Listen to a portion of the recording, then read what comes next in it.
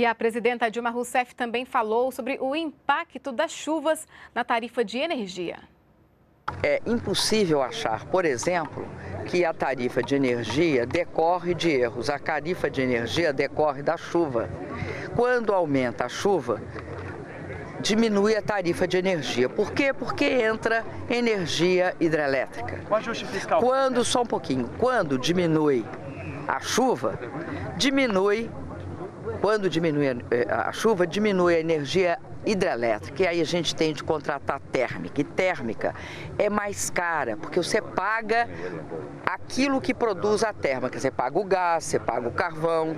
E quando é água que você está tá usando para produzir energia, você não paga. A água é gratuita.